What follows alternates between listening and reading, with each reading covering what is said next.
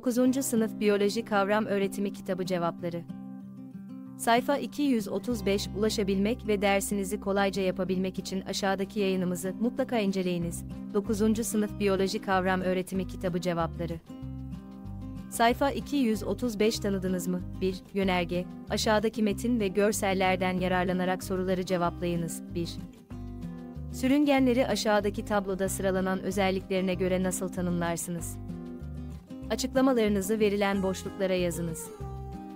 Cevap Solunum şekli, akciğer solunumu yaparlar. Deri yapısı, derileri proteinden yapılı keratin pullarla kaplıdır. Kan dolaşımı, kapalı dolaşım görülür. Kalp yapısı, kalpleri üç odacıklıdır. Kırlı kan ve temiz kan karıştığı için soğukkanlı canlılardır. Başkalaşım, görülmez. Yaşam ortamı, kara yaşamına uyum sağlamış canlılar olup suda yaşayan türleri de vardır.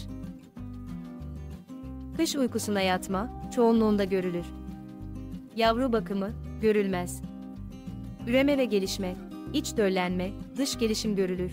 9. Sınıf Biyoloji Milli Eğitim Bakanlığı Yayınları Kavram Öğretimi Kitabı Cevapları Sayfa 235 ile ilgili aşağıda bulunan emojileri kullanarak duygularınızı belirtebilir aynı zamanda sosyal medyada paylaşarak bizlere katkıda bulunabilirsiniz.